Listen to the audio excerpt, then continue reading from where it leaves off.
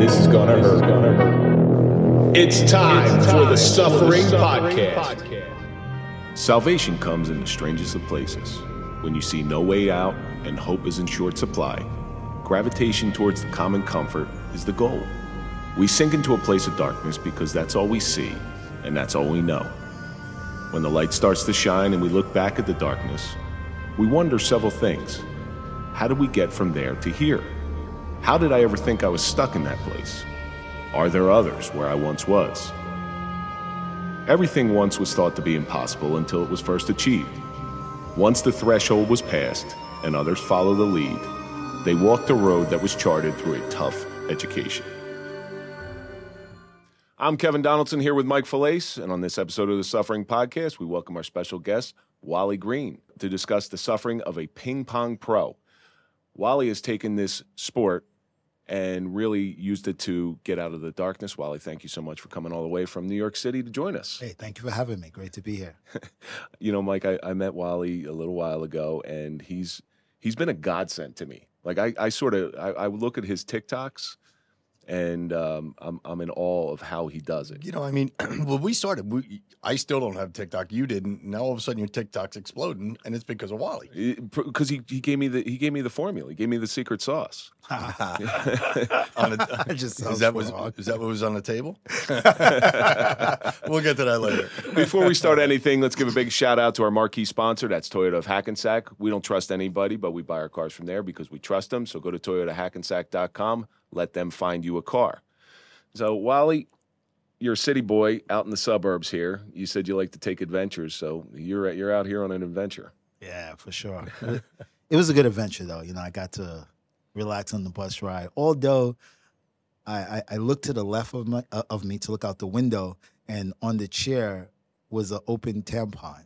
Why it was there, I have no idea. Oh, not a tampon, a maxi pad was just on the chair, and I took a video of it because that's probably going to be my next post on TikTok. Anyway. You sure that didn't New fall Jersey out? buses. You sure it didn't fall out of your bag because I've seen your tripod. No, Oh, it did yeah. not. So Yeah. for the audience, We- Wally wait, comes maybe in. we could put the tripod on the table before the end of the day. And So Throw a for the camera for on the there. audience, Wally comes in here and Wally does a lot of stuff on on TikTok. So he carries around a tripod and he pulls out his tripod and it's like a nine inch sex toy. That's pretty much what it looks like. And so I, I don't know. Maybe it fell out of your car. I don't know. No, no, it was not. It wasn't mine. I just looked and it was there. It was just sitting no, there. you know what happened? There was a girl sitting next to him. She saw the the tripod. She took the she took the maxi pad and she said, "Oh, I'm me and this guy are gonna go at it." But this Oh, man. this episode is actually do, we're doing something we've never done before, and you're the you're the architect of this. Pioneer. is we are going out over your TikTok live with the Suffering Podcast. And that's an amazing thing. It's it's a little daunting. It's a little humbling. Uh, I like it. I think it's fun. Listen, Uh, we're we're we're we've done over hundred shows. We haven't released them all yet. We've never done one live yet, though. No, this is it. This is so. Thank you. so you, you, for. can't pick your nose today like you usually do.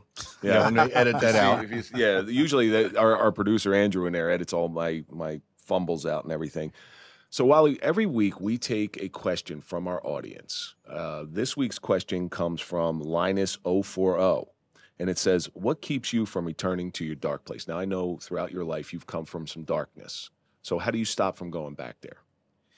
Wow, man, that's a good question. Um, man, I think for me, what keeps me from going back to my dark place is um, looking at all the other kids that's probably were in my situation and uh, just trying to be a role model for them. You know, I, I, I I, I, I need to do better, and I need um, the only way they can do better is if I'm doing better. So that's what really keeps me from going to the dark place, and really, and what really drives me um, to just stay good and um, yeah, like that. Well, you you've developed this roadmap, and we're going to get into it on this on this show. You've developed this roadmap, this very odd road. Like I don't even know where to start. Say, yeah. Like, this is you- the oddest-. This is the oddest roadmap to get out of a dark place that I've ever heard of. But before we do, Mike, what do you think? What, what keeps you from going to your dark place? You know, I, I generally think it's just the memory.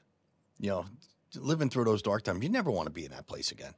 You know, so you, just you just sit back, you, you suck it up, and you say, I don't want to go back there anymore. You know, that's pretty much. Listen, we all revisit our dark place every once in a while. Yeah. You know, every couple, you know, couple months you get into that fall into that rut again, and you stay in that rut for a couple days, and you hate the feeling. So yeah, I guess the memory and the feeling, the feeling of being in my dark place, I don't like that. I I have to sit there. Sometimes I get locked inside my own head, and I have to sit there and consciously get myself out. Like, no, you're not there anymore. You're not. I have to do a lot of positive speech for myself. You, you can't go back there anymore. You that's not you anymore. That was you for a short time, and it wasn't a good you.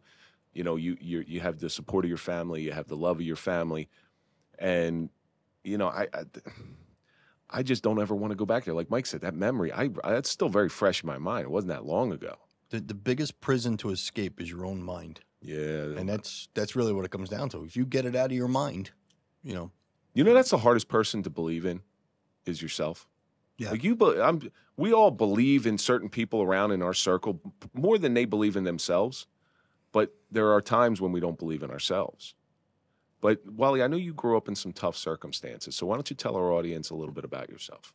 I grew up in the projects um, with uh, a stepfather who uh, was a very abusive, narcissistic individual, and I really didn't even understand what narcissism was until until recently, until the pandemic, when I was in Clubhouse and going into these mental health rooms and just learning about stuff. Um, but yeah, my stepfather used to beat up my mom like a lot, like ev- almost every day. He used to either choke her, smack her, punch her. This is in Um, New York. This is in New York, Yeah. yeah. in Brooklyn, in the projects, in Marlboro Projects. And um, I grew up as a kid just watching this all the time. And, you know, as a kid, you want to protect your mom, but you can't because you're too small or you're going to get beat up too. So the only thing I could do was to console her, right? When she get beat up or she was bloodied, I go and hug her. But then what, what would happen was is that they would go upstairs, do the things that they do, and then I'd be in trouble, right? So I'd be in trouble for consoling my mom. My stepfather would punish me, and and that and that was the cycle. So, and and I didn't realize any of this stuff until, like I said, until the pandemic. Um, what how narcissists work, and narcissists they just try to control every aspect of every part of your life. That's why n- none of my family, and, and it's crazy because I just came to this. I tell you, this is just recent. I'm learning about this. None of my um, family has ever been to my house. Isn't that crazy? Yeah, that's Like my mom's brothers, her sister. My mom has five brothers. None Your house right now. No, no, no. In Uh, in when I was a kid, When you were a with kid. my mom. None, none, no family. My grandmother's never been there. Her brother's never been there. Nobody. And then I, I, I, I learned about the narcissists, and what they do is they alienate the person from the family. They So- beat you down physically and mentally. Yeah. And and and separate you and make narcissists want you to feel that you're the only person in their life. Right, right, you know, right. and that's what they do. They they they separate you from everything. But I've recently come to realize that narcissism is a is a byproduct of trauma. right. And so Mike and I and I say and this is this is a recent revelation for me. When I was in my bad, bad, bad place, I had to cave up. I had to protect myself. And the only way you can protect yourself is to try to control everything around you and make it what you need it to be at the particular time. It's a very unhealthy thing Right. but that's it's a survival mechanism. And I know there's many different types of narcissism, but that was the narcissism that I experienced, that I had, and I really had to just let go. Right. I- you know, controlling my kids, controlling my wife. It was it was it wasn't healthy at all. You know what I think? I think because um my so my stepfather was illiterate. Like he couldn't read or write at all. Like it, was it was really um like I I never met someone. Did he work at all or anything? Or So here's the thing. He was a master carpenter. He could build Mm, yeah. anything. It didn't matter and it would look perfect. And that's how and, but my mom on the other hand, my mom was smart. My mom had the degrees. And I think that um maybe I I I, think like you said, um he he he felt insecure because my mom was really smart. You know, my mom was smarter than him. I I always had to like he used to like um uh, uh, audio equipment and stuff. So I always had to do all the reading to put this stuff together. I'm the one that helped him put everything together because he couldn't read it. And and yeah, and but I mean it, it, it was weird because my mom with her mouth was very strong. But in reality, she wasn't really strong at all. So you know, I, I it's just think the key thing you said is ins- insecurity. I think narcissism is a byproduct of insecurity. Yeah. It's only insecure people that want to put other people down to make themselves look better. Yeah, and you as a young man, you're learning some. You're learning survival techniques. You you Yeah. you didn't on understand on the it. fly. Yeah, you really didn't understand what you were what you were learning, but pe- kids see that stuff and it imprints on them. And I'm sup- I'm very surprised. You know, you can go one of two ways. It's like having a parent who's a smoker. Yeah. All right. So me and my brother, my parents were smokers. My brother ran so far away from cigarettes because he didn't want to have anything to do with where I became a smoker. All right, and and it took me a long time to quit smoking. So you see you see people growing up in bad households and some of them exhibit that so maybe not to give any excuse for your stepfather's bad behavior but i'm sure those insecurities came from somewhere where down the line where he grew up and that was a survival technique that he learned i'm not trying to make excuses for him no, no, I get it. I get it. I get it. No, no, I, I, I never really looked at it um, that way because I don't really know his family. I know, like, I remember his brother. Oh, and that's another thing. His family came by. Yeah. So, like, his brother, I met his brother, um, but I, I, don't- I don't really know much about his family. Um, all, all I know is that um, I, I grew up wanting to kill this guy. Like, I, I, I, hated him so badly that I'm talking about, we're talking about as as as old as seven or eight, I was thinking about how I could put, you know, in, in the projects, you know, sometimes you have a lot of roaches. And back then, uh, we would use the boric acid. It's like a powder that you put Yeah. on the corner of the walls to kill the roaches. I was trying to figure out how could I put this in his capsules and his pills and let him take it. And this is like seven, seven years eight old. years old. It's it's crazy. You Uh, know, and- you're you're actually thinking realistically because Yeah. kids will say god i wish I, I i'd like to kill him or i wish he'd die Yeah, I wish he'd die. um, but you're actually thinking about Yeah, it this was this is what I thought every day. Like every day of my life, I I, I just wanted to kill this guy, and and and I, I even thought of the dumbest things. Like you know when you watch cartoons, you know you see or, or, or stupid movies, you see them put the the sock in the muffler. I, all these things like came through my head. You know, You watch Roadrunner and you Yeah. want some like Drop a act- act- boulder on him. drop a boulder on him. yeah yeah, you know, and then I mean the the abuse it, it was crazy because not only my mom was getting abused, you know, every day my stepfather told me that I would be in jail for the rest of my life. I would never amount to anything. And not to mention he had another son from my mom. So that made it even worse because his son was like, you know, The golden the child. golden child. Yeah, and, and. I was like, yeah, it was bad. It was it was really bad. And that- that's because you weren't your blood. We actually, so that book right there, 14th and Second, was written by a guy, New York guy, Charlie Cifarelli. And his father treated him the same way because I don't want to spoil it too much, but his father never believed that it was his own son. So that's where his younger brother was treated much better because obviously that was his son. Like he knew it. Yeah. So I mean, I, that makes a lot of sense. Did you did you get along with your I guess your half brother? Did you get along with him? Or? Okay. Next question. Ah, yeah. So that so with my half brother, um, I think I took a lot of what was going on at home on him. So like, I I because I, I was bigger.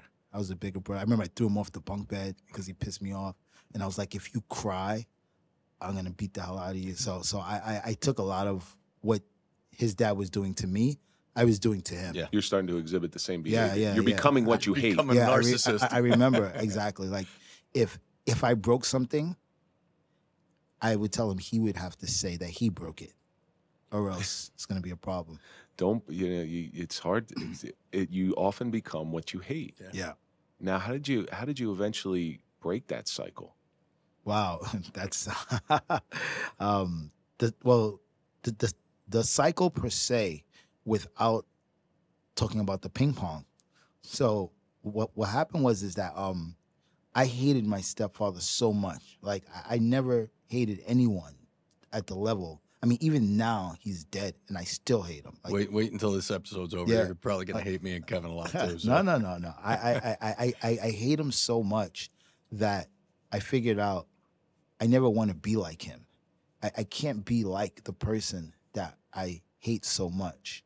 So that's how I broke the cycle because I, I just truly, truly hate this person. I think if you really, truly hate someone, that you're not gonna be like that person. Anything that reminds you of that person will just burn your your whole soul. So that that was the way I was able But to w- break the w- cycle. that wasn't you as a seven year old. No, no, no. That no, that no. is much This later, in life. later in life. Yeah. Yes. So how bad did it get?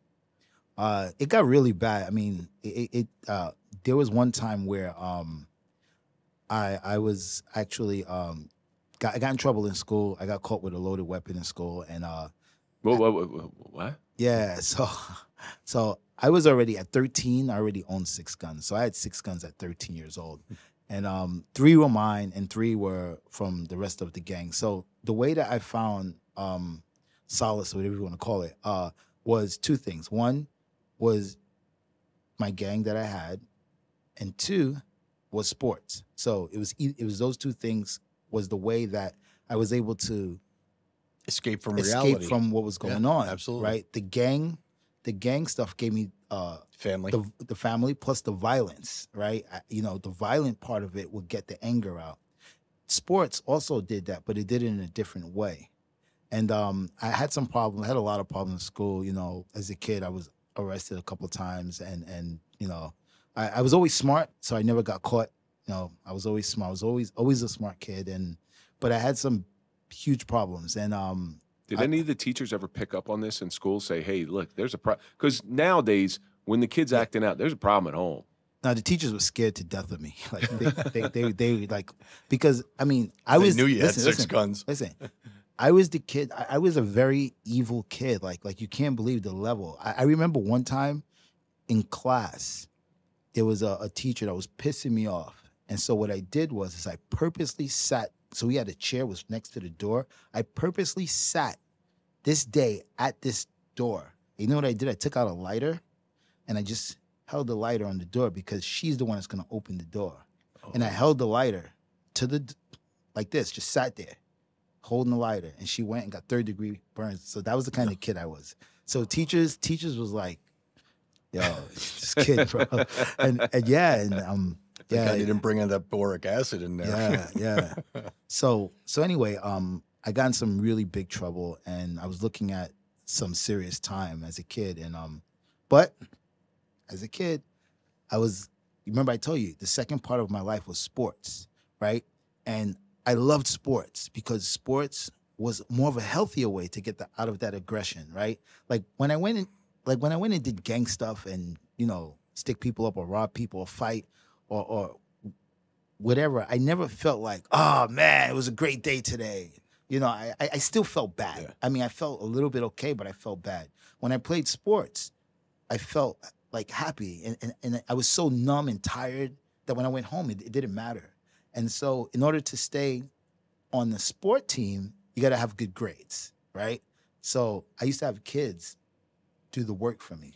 So, I had kids like taking my notes, doing doing the work, and that's what saved me. No, that, that's what really saved me because my mom brought up to the judge. Uh, I don't know where she got this lawyer from, but she had a good lawyer, and and they said, look, look at his grades. This kid's like almost a straight A student. If we put him in jail for a long time, his life is going to be ruined. So they came up with the great idea that they would send me to Africa to boarding school, which is which is one of the biggest disasters ever. But but yeah, Why Africa? There's a, there's a million boarding schools in the United States. so because my mom had some African friends, and they said if you send him to Africa, they're gonna whip his ass straight, and and that's pretty much what happened. Like I, I got beat up in school every day, You cannot meet violence with violence. yo. It doesn't work. But you know what's funny though? Being the only person by yourself in a place where you have no control, I couldn't do nothing. You, you don't have your, your, I, your I, I, friends I with you. tried to fight. Yeah. I just got beat up. You- so, Yeah. So were you? Did you play any football in high school? Uh, I played some football. I played basketball. I played volleyball. I played tennis. I was on a wrestling team. Because you you were like prime build for like a nice cornerback or Corner, free yeah, I was going to say corner, wide yeah, receiver. yeah, yeah. you know? I, I played. I played every every sport in school. Any sport that I could get my hands on. and that was to keep you out of the house too, I guess, too. yes. But there's a difference too. There's a difference. So when you're out there robbing and stealing, but you you're you're saying that you always you, you never lost your humanity. Yeah, like like I, I wasn't I wasn't I wasn't the like you know what like the kids today they're they're they're very different than than than we were when when, when I was a kid. Like I would never shoot someone just on the basis that they looked at me, right? I mean, if I ever had to shoot someone, it, it, it would it, some- something serious would have had to happen, right? So I I, always thought I, I never you know if we jumped somebody, I actually felt bad right? I actually like at the end of the day, I was like, damn, that was pretty messed up. You know, I, I felt bad, but some people don't feel they they don't feel bad at all. I But I think that's a felt that- process, though. Yeah, I do think it's a process where you become you you lose your humanity, right. and once your humanity is totally out of you, you're lost. Yeah. There's, it's hard to bring you back from that. Yeah, and yeah, so you know, I got sent away to this this boarding school for two years In Africa. in Africa. sucked, really sucked. And then uh, I came back. I came back two years later. Um, I was very strong because when I was in Africa, so so you you would think like I went to Africa and everything was like cool, besides getting beat up by all the teachers. But I experienced a lot of racism there too What part of Africa? in Nigeria. So I was in Nigeria and I experienced a lot of racism. Uh, so apparently I wasn't the real black and Uh, I wasn't the yeah. real black guy. And they used to make fun of me and they used to say, they used to call me the kid who eats butter. They try to say I'm soft. no. Yeah. So, so I had to deal with this. So I spent a lot of time fighting there. I joined this thing called Man of War and Man of War is like, it's like if you took Boy Scouts and you timed it by 10,000. it's, it's like the closest into being to in the most militant army. Like they make you stand up and just fall like a tree. And I joined this thing, right, to get some respect. I had to do something to get some respect Yeah. there because I was getting zero respect. I joined this, I became much stronger, you know, bigger. And then I came back home two years later and um my my my stepfather was grabbing my mom and uh Your poor mother. When you were in Africa, Yeah. your poor mother. listen, oh man, I She- couldn't tell you. She had to take a beating. Yeah, it was crazy. It, it's just, I, I I never understood, you know.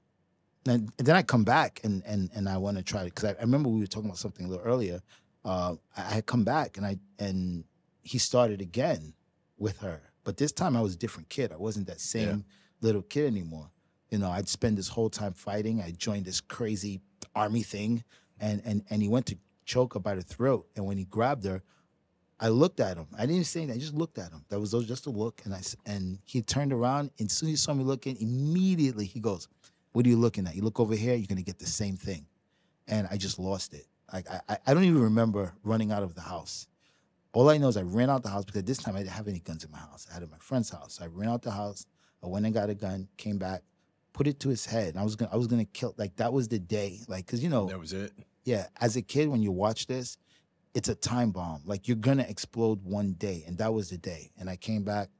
I was really gonna kill him. And then you know, my mom's screaming, she's flipping out. His son's not around, and um, my mom calls. My mom calls the. My mom calls the police, and she goes, "Hey, you guys gotta hurry. My son's trying to kill my husband."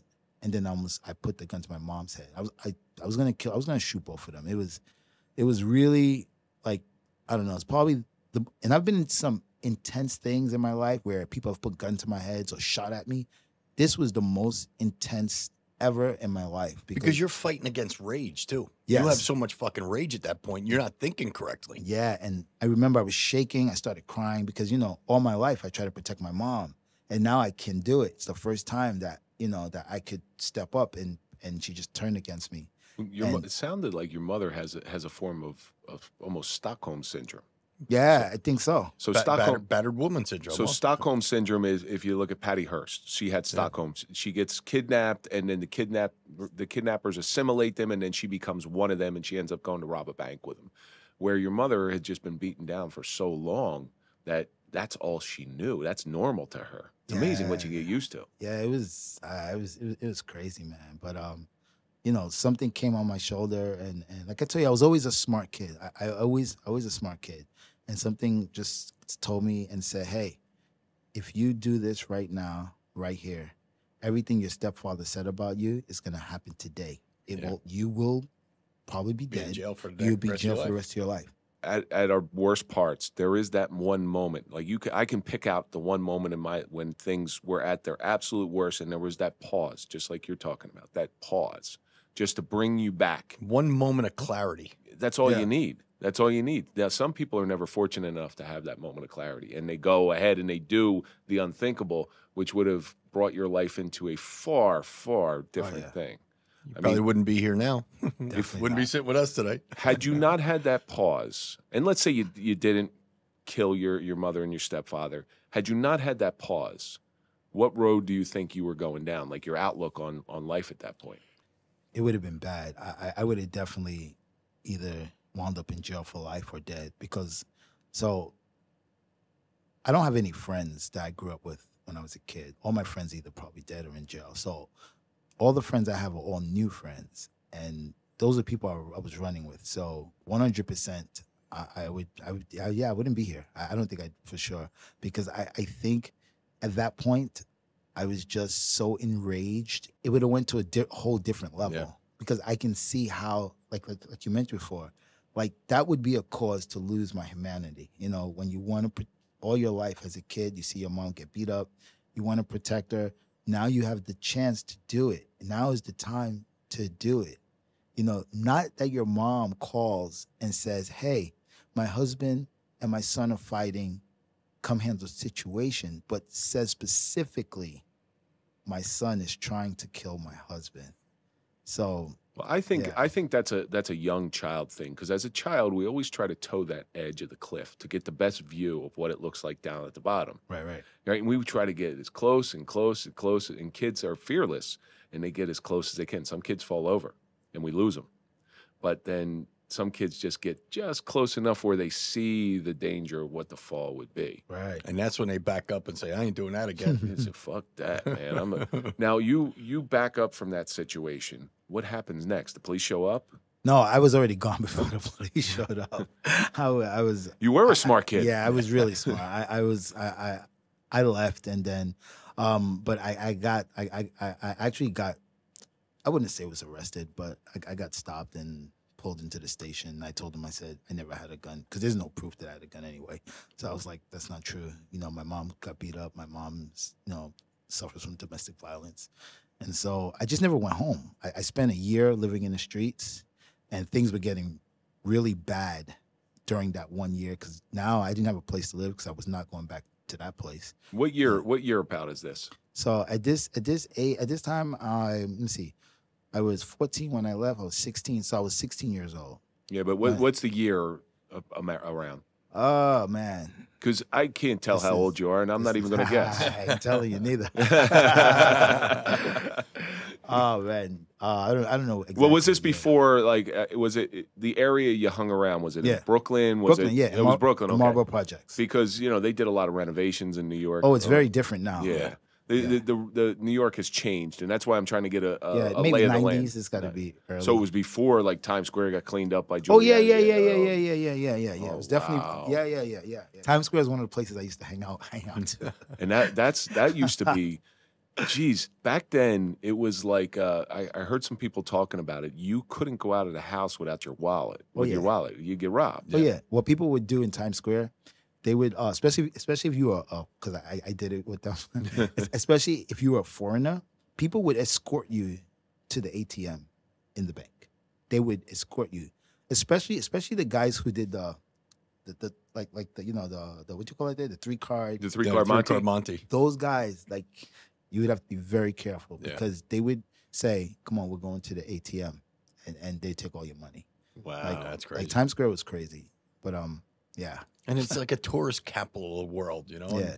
And they couldn't even clean it up back then. That's crazy. and then somehow and this uh, this still shocks me to this day you coming from where you came from to how the hell did you find ping pong like seriously out of all the things and all the sports that you loved Right. why ping pong I used to smack people with paddles all the time. So, you know, I- I'm pretty good at this. Hey, that's hey. It's funny you said that. It's funny you said that I'm on to because something. that that's along the lines of what happened. So, um, I actually hated ping pong. I made fun of all the kids in my high school who played it. Like I bullied them all the time. So I hated the sport. Um, one day I was shooting pool at, at this pool hall that had ping pong tables and wasn't interested at all. But I got upset and I took my pool stick and shattered it. On a, I didn't do it on purpose. I just hit it and the pool stick shattered. And um, I had to on someone's head or on No, no, no, on- all on- on the table. checking. and and and I had to. So when I was younger, I used to anything that happened to me, I would take out on someone else. I would blame everyone for everything that happened to me. I could stub my toe, and I'm gonna find someone to take it out on. So. Of course, after I break my pool stick, I'm like really pissed off because this was a very expensive pool stick that I actually stole. So yeah, so uh, I, I worked nice- hard to get that. yeah, I did. I worked very hard to get it. So, you know, I, I'm angry now and I see some Asian kids playing ping pong. And I'm like, yeah, I'm gonna go mess with these kids. So I go over there and I say, hey, I want to get a hit. And the guy goes, You play this? I was like, I don't play this. I just I just want to hit the ball. Just just just give me the racket. Take the racket from him. So the guy hits the ball to me. And the object, the idea was to hit him in the face with the ball. I was trying to hit him, right? Um, because, you know, if I just walked up to him and punched him, you know, we're on camera, you know, w- wouldn't be a good look.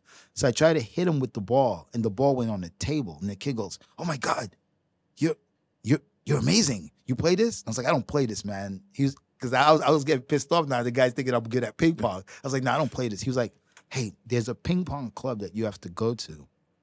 You got to check it out. Like everyone's so good. They stand far from the table. And I was like, you're crazy. There's no place where people gather to play this. See, I'm a street this- kid, man. I, I go, I, I rob people. Exactly. I don't play ping pong. Come on, what's exactly? But you know, uh, what happened was is the athlete in me, because I'm, you know, at that time I was a big athlete and I love sports, and I was like, is there really a place where people play this?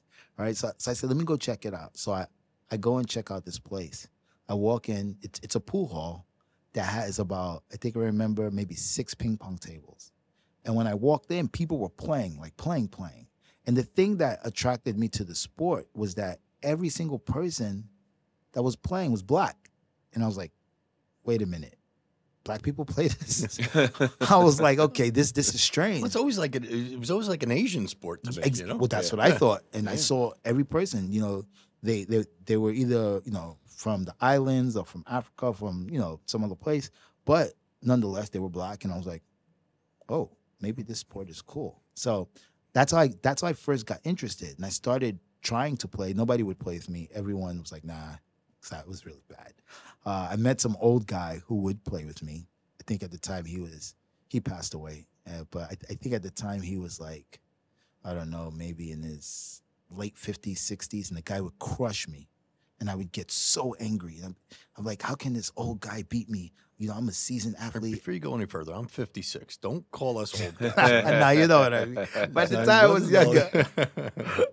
but yeah, I was like, this is crazy, man. So that made me want to play more because like this guy was just killing me. And um eventually uh down the line, I meet a Israeli guy who comes up to me and says, Hey, do you have a partner to play? And I says, uh, no, n- not really. He goes, Well, I'll pay you twenty dollars if you can be my steady partner because he's in and out of town and he wants to come and have someone to hit with. And at that time I could hit and I could hit forehands, I could hit okay. Um, and I said, yeah, of course. Twenty dollars was a hustle, you know, because mind you, remember I was like pretty much in the street, and I was like, yeah, twenty dollars, let's go. And I would play with this guy. He would pay me twenty dollars, um, you know, every, every time we played. And then, uh, you know, I became a little close with him, right? And and I was always open about my life and like what I'm going through and the things I was going through, right? I just didn't care. I was like, you know, and um, but for him it was more like a TV show, right? Like if you if you don't know anyone who's lived that life or been in that life, it's very hard to to to understand how you know a kid at 13 has guns, but it's really easy. It's not difficult. It's something that's like when people tell me, say, "Oh yeah, uh, yeah, I know," right? So for him, it was more like a TV show. So he was uh, listening, but he wasn't hearing. And then uh, one day, I went to the club. A 22 fell out of my bag, and uh, he saw it. He looked at me. I looked at him, and uh, he had this look on his face, and it was almost like I still remember it till today. It was like all the puzzle pieces had just clicked together, and he gave me this look, and I was like, "Yo, I'm out." Cause I don't know what he's gonna do. He's Yeah. gonna call police. I don't know what he's gonna do. So I left. I thought, well, you know, there goes my twenty dollars. I'm never gonna see this guy again. Okay, whatever. And he calls me two days later. He says, "Hey, um, are we still playing?" And I was like, "All right, let's. Yeah, I guess."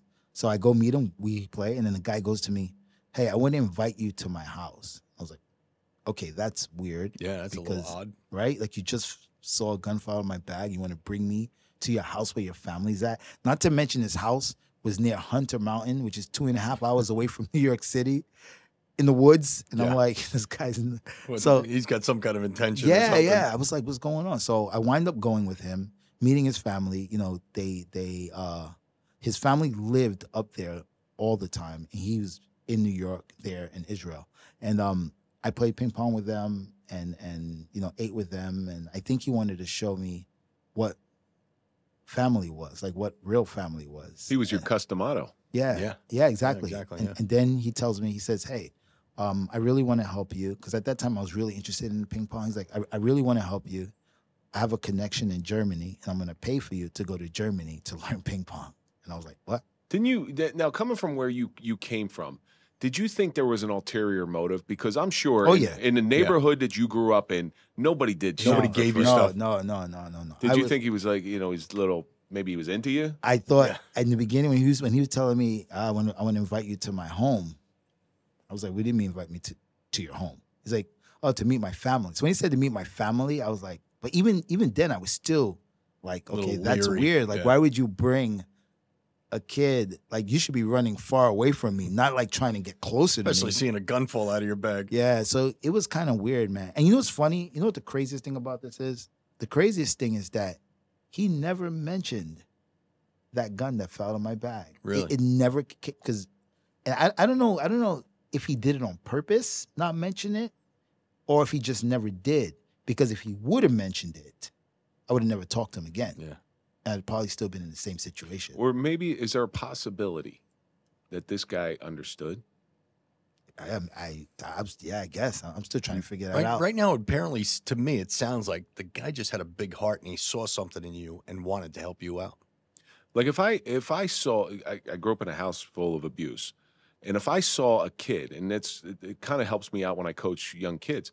If I see a kid that's acting a certain way, I sort of I won't say nothing to him, but I'll look at him. I might spend a little extra time with him because I know what he's going through at home, or if the kid is misbehaving in a certain way or doesn't listen in a certain way, because I understand it it, it I'm I'm from I'm an outsider looking in on this situation, and I see this guy taking an interest in you in a certain way. It might be him his way of paying something forward that happened to him. That That's the other thing I was going to say. Did something happen to him? Oh, I never even thought about that. Yeah. that's that's the first time. I, That's why we brought you in. We're trying to learn your stuff here. No, that's the first time to that ever came up. That's Yeah. the first time that ever came out. I never even never even thought about that. Yeah, he could have had something in his childhood where he just, you know, saw something in you that maybe he saw in himself as a child. Not all Israelis are, you know, they're military people going at the Wailing Wall. I know some some true blue criminal Israelis. I, Right, I know them, and they they deal with some stuff. If he was a true Israeli, they deal with some stuff that that we that the cameras never show and never see. Right, So maybe it's a possibility where he was heading down that path and saw you in a similar situation, and you know those are those are the important people that we need to pay attention to in our life. yeah, yeah, Yeah. definitely. Do you still keep in contact with him? So I lost contact with him like many years ago when Israel had that big war. So um, and then we've been trying. To, we we spent a lot of time to try to find him because we made a film, um, not that long ago, maybe like three years ago, um, documentary about uh, these ping pong tables I put in Bryant Park, and uh, as part of the film, we wanted to find this guy That would so great. that we could it, it could tie into the story about look what you did. Do you want to shout out his name? See if he's out there. I mean, Uh, hey, listen. I don't so- know his last name, but his first name is Alec. His first name is Alec. And it took me many years to remember his first name, actually. You know, So- I think there's maybe only one Israeli named Alec out there. So maybe. yeah, well, maybe he's- maybe about what age would, would Alec be? Now, oh man, maybe he's gotta be in his 70s. 70s. So if anybody knows an Israeli gentleman about 70 years old, first name Alec, that That lives near Hunter Mountain. yes, yes, that lives like across the street from Hunter. that, that, you know, please reach out to us. There's somebody out there that's going to listen to this or maybe watch one of your TikToks Right, right. and and know this person. So But the- I just want to get back to you did go to Germany? Yeah, I went. I, I, he sent me. I, I, he didn't go with oh, me. he just sent you on your own. Yeah, yeah. He paid everything. Everything was paid for. Um, I, I lived in a school with like the top athletes of different sports, so not just ping pong. Yeah. I went there for ping pong, but I lived in in, in a school with like the best athletes. But even then, it, it I mean, just just because you take a kid out out of where he's from and put him, stick him in somewhere, doesn't mean that I changed. Like I was still this violent kid. You still got street in you. Yeah, and then I, I was still this this violent kid, and if not, even a little bit more because I, I didn't know any of these kids, and everyone. But the thing was, you know, everyone was was always being extra nice. You know, oh, you're from America. Oh, you're so cool. Blah blah. So it took me a little while to adjust because I didn't know how to. I'm not used to that. Like you, you know, everyone was just genuinely, ah, man, you're cool. You're from New York, and, and this and that, and and you know, there's a, a a thing they call it's called killing you with kindness, right? Yeah. So that's what happened. You know, it's a real thing. I, I became confused. I didn't know how to react. You know, uh, and I always say this all the time. It's really hard to punch someone in the face when they're being extra nice to you. it's it's so difficult. I mean, some people can do it, but that takes a different kind of person to do that. I I can't do that because, like I told you before, even when I was doing my gang stuff, I, I still had you know I still had humanity in me, right? So little compassion. Well, how Yeah, long did it take? How long did Oh. it ah. take for you to do this? it took me it took me the first maybe like a month, a month, maybe a month and a half of of of just like you know listening to these kids because everyone was so nice. And then, like I said, just like back in the house, something comes to me and it says, "Hey, why are you upset? Why are you angry? You're not in your abusive home anymore. You're so far from it. You're you're, you're not even in the same country. Why are you angry? Here, you're with people who actually like you, and they like you not because they can, uh, not because of what you can do for them, not because you can pick up your gun for them, but they like you because they like you. Yeah. Yeah. And so once I was able to figure that out, then I started to let down the guard a little bit, became Did a you little more appreciate? friendly. Did you appreciate their friendliness after a while? Yeah, because it was it was it was just like I don't know if the word is wholesome, but it- Genuine. genuine. It's very genuine, and it was like You know, I mean, coming from your upbringing, you probably didn't have too many people that were nice and showed you attention, Right. like you said, because you're Wally Green. right. And You and know, there never- they didn't know you, no preconceived notions, and just looked at you as a person that you were. Right. And and I never had to ever think of, oh, what am I gonna have to do for this person? Like I never had to ever think of that. Whereas when you know, when I was doing my gang thing, that's always in your mind, you know. All right, I know I gotta do something. Gotta owe this guy a favor. Yeah. But there it was just like, I don't have to do anything. Just be me. And people are just nice. And yeah, so that was that was the first change in my mindset, which actually um set me up to to be a nicer person. That's a that's amazing because it, it probably gave you after a while when you finally dropped your guard to give you the appreciation because you can only appreciate things when you know the other side. Yeah. You know, you can only appreciate good things in life when you know the suffering. And not to be not to give us a shameless plug, but you're on the suffering podcast, so I'm going to do it. you that's that's what we preach on here all the time. You have to look at the back. You have to know what the back of the page is in order to appreciate the front. And that sounds like what you what you did. Now, how did this become a profession for you? yeah. So uh I got really good at ping pong and um I came back to America and um my a big break came. I was I, I was starting playing tournaments, a lot of tournaments in the US. And uh, there was one tournament. It wasn't even like a ranked tournament. It was just like some throw put together tournament that was put together in Chinatown. And um, I went there, and some kid was visiting uh, from China, and uh, we got to play against each other. So as we were playing the match, the kid was really loud, and he was going, "Yo, Joe!" Ah! And, and, and then I started getting pissed off. So Shut the fuck up. yeah, that's motherfucker. Look like Big exactly exactly what was happening. And then you know the because like like like I say, even though my mindset was changed, I was still hood, and and uh, I was like, this dude, bro. All right, we're gonna play this game. So then I would make a point. I'll go, that's it, boy. Send him back. Send him back. And I'll just start talking mad trash. And we are going back and forth, me, me, me and this kid. And um, after the match, uh, Rockstar Games actually. Uh, if you guys know Rockstar Yeah, Games, they make Grand Theft Auto. sure. Um, they happened to be there scouting, and they came up to me and says, "Hey, uh, you do know Rockstar Games?" Like, hell yeah, Grand Theft Auto, man. I play that all the time. I love it. And they were like, before they even finished the the, the sentence of "We're gonna make," I was like, "Yes, yeah, for sure, let's do it." so they they uh, wanted to make the world's first real ping pong game called Rockstar Presents Table Tennis. So I was like, "Hell yeah!" I got on it. Um, I did like ninety percent of the motion capture, and then and, and like I said, I was always smart. So when I said yes, I said yes with some intention because I like ping pong a lot and I wanted to be a pro. And the only way I could be a pro is if I had money to do it, right? Yeah. Because to travel around the world is no chance if you don't have any money.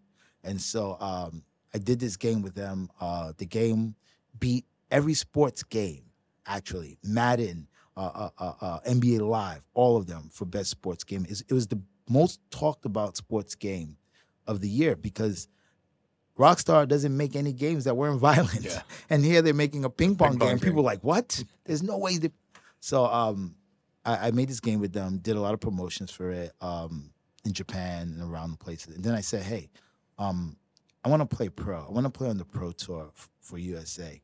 Would you guys sponsor me? And the answer was like, yes, immediately. Because sponsoring me would also get the game around the world. Right. So I was like, all right. So, so, so they were like, well, you need to come up with a budget. I was like, what's that? I didn't even know what a budget was. I didn't know it. I'm used to twenty dollars from Alex. yeah, just to play with exactly. Exactly. I had no idea. But I, I, I, I you know, But you've re- made things researched and- work throughout your life. Yeah. And this just sounds like another thing that you just made work. Yeah, yeah. I put together a budget and they agreed and they sponsored me. And I traveled the entire world just playing ping pong.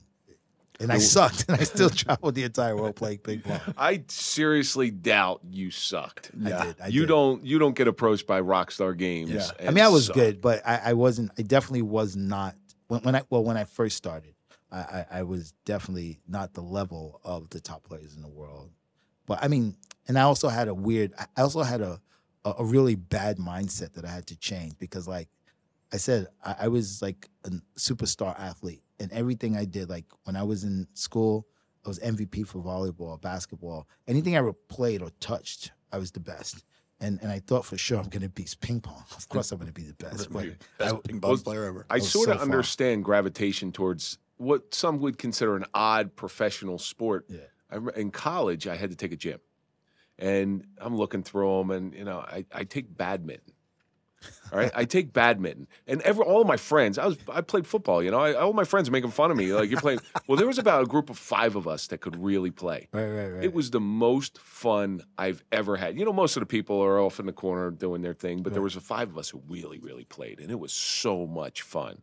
It was, it was a, a, a dynamite experience, and I, I don't, you know, I don't look back on it at all. right, right. So how do you, how do you go further? How do you you're you're on the pro tour? Now, are you winning these tournaments? Hell no. I'm getting destroyed. are you at least placing and getting money out of them? Hell no. But it doesn't matter. You got a Doesn't matter. backer.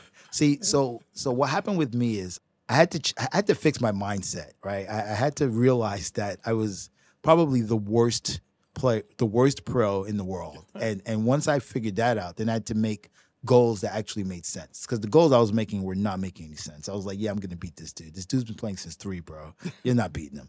Uh, so I started making goals that made sense. So the first goal I made was I got to get five points.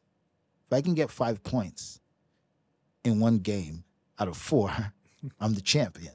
And I made myself believe this. So I would go and I would just play for five points. Five points it. And I would get five points and I would go, yeah. And I would make this noise and people would be like, what's wrong with this dude? He just lost.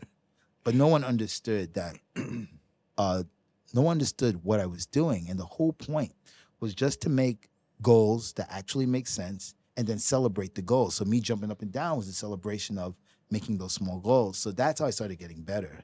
I started going from five points one game to five points every game to one game to two games, three games to a match. And that was the only way that I could get better. And and that's how I started getting better. But uh, people were just making fun of me. What was what was your top accomplishment as a pro ping pong player? Oh man, I think man, I won a lot of tournaments, uh, uh, stuff in, in in America, like a lot of rating events. But uh, I think my my best accomplishment on the table didn't come as a pro. Didn't well, I was a pro, but it didn't come on the pro circuit. It actually came in a, just a normal American tournament where I was playing this kid who was actually not even as good as I am, but he was really fast and and and just everything was just so quick. And I was very slow behind him and the kid and he was also I think was maybe 200 rating points lower than me so similar to, similar to chest. And um he was beating me 2096 and the games go to 11 so 2096 I had no chance and then I, I remember that I, I I I sat down I thought about what I was doing and I said, what can I do different? How can I win this? What what can I do different? And then I say, you know what? I'm gonna slow this game down. I'm gonna play as slow, as humanly slow as possible, right? Because the cue was boom, boom, boom, so fast. And so what I would do is I would take extra time when I would serve. I would look at him, I'd bounce the ball on the table, look at him again. And when I would serve, I would serve in a slower motion. And I wind up winning that match. And I think when when people ask that, I think that is the biggest accomplishment. Getting right? in his head and taking him out of his game. Yes. And Yeah. just being able to adjust and and You adjusted, yeah. but you've adjusted throughout your whole life. Yes. You've had Yes. to. And did you ever get a sponsorship deal for Flexo Light ping pong paddles? No. All right, but that's what Forrest Gump. Yeah, I that was know, his- right? Yeah. That was his thing. I my my uh, uh table tennis sponsor is a company called JOOLA. It's J O O L A, and uh they sponsored me for a long. T- it's been a long time. They sponsored me, and um, they're they're they're a really good company, really good group of people.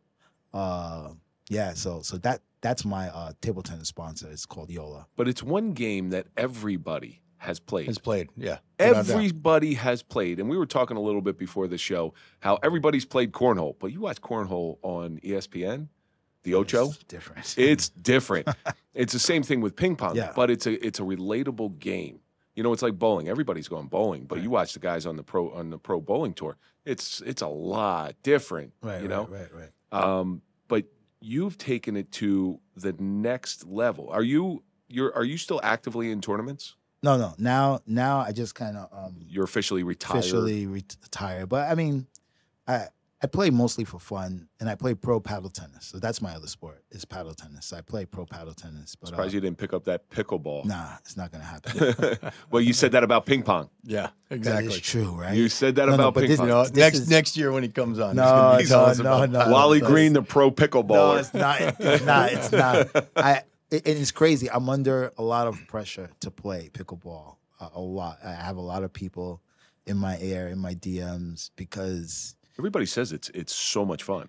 yeah it's but for me it's it's a bit slow and it's not fun for me like you know i play i play ping pong which is super super fast super you know aggressive then i play paddle tennis which is even more aggressive um pickleball is just very slow It's for an older generation well, mostly. it was yeah. created for that Yeah. but now you got a lot of younger people playing it and um it's just not fun for me like i trust me i i, I just came back from vermont i was in vermont giving a talk and uh i met the guy who runs the number one agency for the agent for pickleball players and i'm like man i just can't get away from this man it's just everywhere i go It's um, call it's calling you. It's a Nah, ca- yeah, it's a not- calling. It's, it's I not. think it even is. check this out. Even my sponsor, even my sponsor right now makes pickleball paddles. yeah, they're but you ping pong company. you don't even play with paddles anymore. Yeah, I play with my cell phone. Let's You- go. so if you go if you go on your TikTok, it- t- TikTok, it's Wally Green NYC Yes, official. Official. official. You will see Wally playing. I don't think I've seen one on there where you're playing with a with a, a paddle. Oh man, they they're there, but but it's either my little paddle you'll you'll see or my cell phone. Uh, there is a couple playing with my paddle, but that's And you way were playing with a sword on one of them. Oh yeah, yeah, yes, yes. Yeah, yes, I, I checked out that. I looked Yeah, through a yeah. lot of those different things, and you got the one of the, the one of the craziest catchphrases I've ever heard. You'll hear it on every single one of them. I'm not going to give it away. Those people watching on TikTok live right now, I'm sure yeah, they're well yeah, aware of it. yeah, it. for sure. Um, But just think, pickles are green, right? pickles are green. Wally Green. No, no, You can't after get away from the getting away pickle from ball. this. Nah, It- you know, I mean, just think of the marketing. it's, it's, not happening. Now, before before we go, they they've recently made a few movies they, they, where they've integrated ping pong. Forrest Gump in one of them. One of my favorites, Balls of Fury. I know about it very well. Balls of Fury is one of because uh, oh god, that's fun. That's a funny, funny movie. I just I, I know about it very well. When when when the Balls of Fury, Balls of Fury came out. Randy Montana was that what it? What was his name? It was Randy something. Rand, yeah, I forgot. But that came out, so you figure our club's been open for 13 years. Then we did naked ping pong, another three Na- years. naked so 16. naked ping pong. Yeah. Here we go. so I- 16. So that came out like 15 years ago about See now that Balls of Fury. That's like pickleball. Yeah. That's the that's how pickleball was started. Yeah, listen. You, you- listen, I know you've played with a cell phone. You play with a little paddle. You never played with that and a No, sword. no, you never no, played with no, that no, before, did you? No, no. For, forget about, forget about, listen, Forget about pickleball. I tell everybody just play paddle tennis or pop tennis is the new name for it. That's much more fun sport. But that that it, and it was a it was a comedy. Obviously, it was a fun movie. Yeah. But it it was wrapped around this game that everybody knows that you have brought to the forefront, and now your your clubs, these amazing ping pong clubs, people go in there, and it's it seems to be always crowded. I don't know if that's just the appearance, but it seems to be always packed and Yeah. always crowded. Yeah. And what, tell us a little bit about those. we used to have a party in our apartment called Naked Ping Pong. So that's where the Naked Ping Pong comes from. And all it was, it, it was just a ping pong party. You know, it's just like bring your own beer, bring your own drinks, let's have fun, you know. And before we called it Naked, it was just a party. And then we had to come up with a website. We called it Naked Ping Pong, which means the state of mind of just enjoying life and doing what you want and not really caring. And uh, we would have these parties, and the parties would get really big. We even had our DJ was, if you know who Dame Dash is, Yeah, was Dame Dash's son was our DJ. Really? Yeah. So uh, we had a DJ, and you know we made this website. Websites got so many hits. Then we started getting uh, companies saying, "Hey, you know what? We would like to sponsor you guys. We they wouldn't give us any money, but they say we'll give you all the product you want. So alcohol, beer, Red Bull, Perfect. Right. And then we said, okay, well, you know, we can't sell alcohol in apartments, it's illegal, and you get kicked out. But what we can do is we can make something official, make a tournament, uh, you know, around seven o'clock, you know, and uh, charge people twenty dollars to get in, and all you can drink free. Wow. So it was a pregame spot. Yeah. People would come, and we used to have a line. that used to go around the block. Like it, it was crazy. To one point, we had to hire a bouncer, but then the bouncer kind of killed the vibe because, you know, naked ping pong was just about being free Yeah. and, and having fun, and um, that's how we started this business. well, there's not a. I, I don't think there's a big gang population in the ping pong world. Nah. you know, the Jets and the Sharks playing against each The other. The Warriors. Yeah. Uh, so you do you understand something? I, something I've noticed about you is there is just something around you where you dream it and you do it. Yeah, it's uh yeah. So that's yeah, that's that's been pretty much my my life. I, I I think I don't know. I think some people say manifestation. I'm really good at that. Like I I, I just believe like if I want to do something and I'm really passionate about it, some way it's gonna happen. You wish it into existence. Yeah, like Yeah. it may not happen today, it may not happen tomorrow, but eventually it's gonna happen, and it and it always happens. I just happen to be at the right place at the right time, always. And, and you have such a, a positive outlook on things now. I mean, I can't picture you being from the streets. I mean, you're just yeah, such a, you know, such a hell of a nice guy. But Wally, you always were at the right place at the right time. yes, yes, it's true. You know, even when you were in, living with your mother and your stepfather, you you had to be there. Like Yeah. you needed to be there I think so. because if if you weren't there and things didn't transpire the way you would have never been living on the street, would have never met um, Right, Alec, the Yeah, Israeli yeah. guy. I mean, th- this chain of events. There's there's a reason for this chain of events, and now you're you're you're this superstar. Like This this, is crazy. yeah. Do you ever think back and say, you know, how did I get from there to here? Sort of like recapping your life. I look back at it and and it's like, wow, that's crazy. I always say that's that's crazy. I've been sitting here the whole time And- saying that's and- crazy. and and, and, it, and it's ping pong. I'm like, that's really crazy. Mm. But um, You can change the world with anything. yeah, it's, it's nuts. Change the world one paddle at a time. but something he said just before, I was just thinking about what was really funny. You know, when when you talk to me now, like you you kind of don't feel, you know, pe- people don't feel like, oh yeah, this guy was gang banging hard Yeah. when he was young, because you know, like my character's totally changed.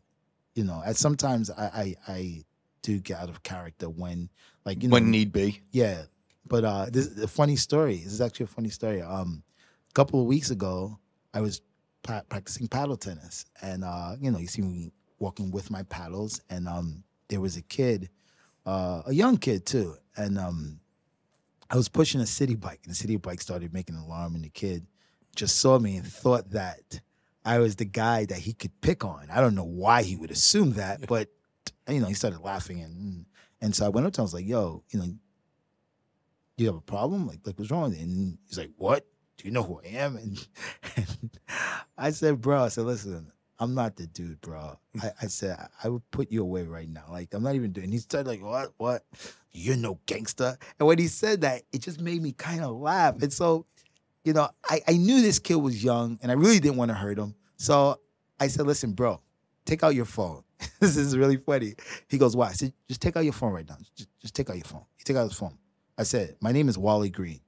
I said, Google Wally Green, former teen gangster, and let me see what you see. He Googled it.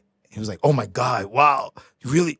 And I was like, bro, listen, don't judge people by the way they look. You because you never know who you Yeah. you never know who's in front of you. In anything. It could be good, it could be bad.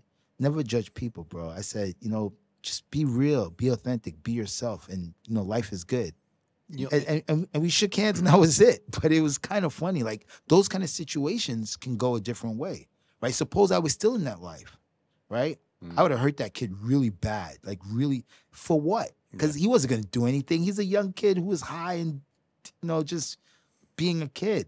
But that situation could have went really bad, and yeah, That happened thought with- funny. That happened with Paul Castellano, the the mob boss. So he was driving from his home, and some kid uh, almost he almost hit the kid on the bike in, in his limousine, and the kid started yelling obscenities. the guys get out of the car, they throw the kid in the back of the limo, and he takes him to the house, and he goes, said exactly what you said, exactly. It's like, do you know who I am now? Okay, never never underestimate who you're talking to, who's in front of you. So uh, that's that that, That's that rings true. crazy. Yeah, imagine that that, that- kid, that kid's I asshole puckered up. yeah, Oh, Wally. man. so where, what's next for you?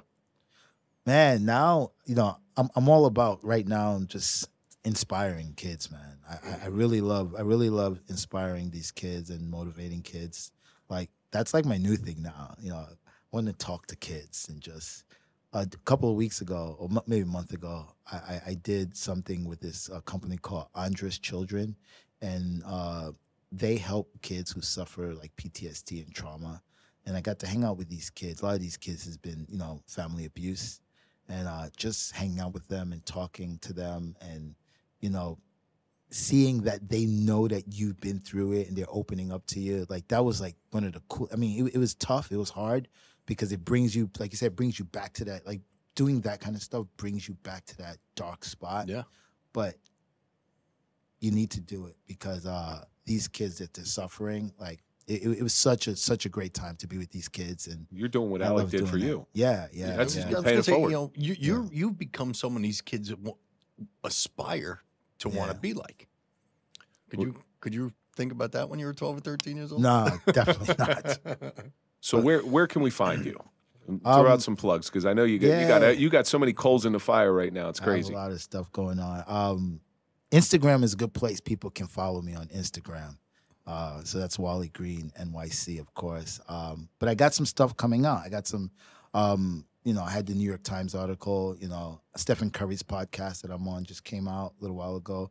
I have MSG. Oh, MSG Network stories coming out this month, I think, and Scholastic. I'm in So- Scholastic. Can you believe that? So one of the things I got to recommend to you. cheated his whole way through school. I know, right? In It's Scholastic. One of these, one of the things I got to recommend to you is a Popl card. You know what the Popl card is because you got mine. Because that's how Oh, that's how I yeah, that's cool. So if you go to Pop, Popl, Popl is one of our sponsors. So if you go Yeah. to popl.com and put in TSP20, the Suffering Podcast 20, you get 20% discount. All these little links that you're giving out right now, you can give with a with a tap of a digital Yeah, business that, card. that's what you showed me. Yeah, and the big thing is is when they change, they get updated. Yeah, that was really cool. Actually, Yeah, I remember that. I was like, "Whoa, where'd you get this from?" Yeah, so go to go to popl.com and you can do that. Yeah, yeah. Um, so that's a, that's a really big deal, Wally. I, like I, I'm I'm at a loss for words right now because you're you're pretty you're pretty freaking amazing. And I don't mean to to be on your you know on, on your pickle. in your in your pickleball, but you've lived this life. You've gone from here to to here. You've been to the top. You've been to the bottom, and that's why people listen to what you have to say right now. Is because you come from a place of understanding. If you were never in those places in the projects, you think your words would have that big of an impact? No, for sure not. Of course hundred not. percent, hundred percent. So this life that you've lived and the suffering that you've gone through to where you are now, what do you think it's taught you? Man, I mean, honestly, what it what it's really taught me was that, um, you know, everyone's not out to get me. That's the first lesson I ever learned was that because that's what I thought. Everyone's everyone's not out to get me, and I'm responsible for my own behavior. And then after that, it's taught me that you know that I need that I need not want or I need to tell my story so that I can help other people who's been through it too. So you know, all all the crazy stuff that I went through in my life. Um, sometimes I think, yeah, man, you know, you went through this but now you can share with others who are going through this right now and maybe hopefully change their lives before they get into the kind of things that I would have probably gotten to. You you you seem like a person. So the first time I met you, I knew who you were, and I did not approach you. I kind of stayed away from you because you're you're I again I just knew who you were. I knew what you've done. I knew what you've been through. I've seen your story and I've seen you on different shows and stuff. So I never came up to you. I was introduced to you through our friend Chris Krimitsos, and what I found is that person in front of me is not what I thought you were. It's not that I thought you were a bad guy. I Yeah, just yeah, thought you, you're who you're not going to talk to me. I don't know, who the hell am I? But you're the most approachable, nicest person, most giving person that I've met in a very, very long time. And I got to, my hats off to you. man. Yeah, I mean, you know, like I said, that. easy going, you know, soft spoken, you know, you're Funny hair. yeah, well, he's, a, he's, a, he's a Bengals fan. tell tell tell tell that to TikTok because TikTok they they they'll be like, I got my live band like twice this this in the last three weeks. One said hateful behavior. I was like, okay, and the other one was like, what was it? It was some other crazy thing. But I'm like, come on, man, I'm the least hateful person here, man. You know, I joke around a lot. You know, No, and I actually all love good. your shirt. Problem is me. Yeah, the problem Solution is we. Solution is we. That's true. And we're going to leave it with that. Thank you so much for coming in today. Thank you. Thank I you. appreciate it. Dude, it was an absolute pleasure. Thank you. absolute pleasure. That's going to do it for this episode of the Suffering Podcast. And as always, we talk about what we learned. Don't become what you hate. Keep your humanity. Those little pauses in life are what's essential. It takes that one person to believe in you, but most importantly, small goals can equal big rewards. Yes. And that's going to do it for this episode of the Suffering Podcast, the suffering of a ping pong pro with our friend Wally Green. Follow Mike on Instagram at Mike underscore Failace. Follow me at Real Kevin Donaldson. And of course, follow the Suffering Podcast. Don't forget, you can always listen before you watch. All our episodes will air on Sunday mornings, and you can watch on YouTube on Monday, Tuesday, Wednesday, Thursday, and Friday. And that's going to do it for this episode. We'll see you on the next one.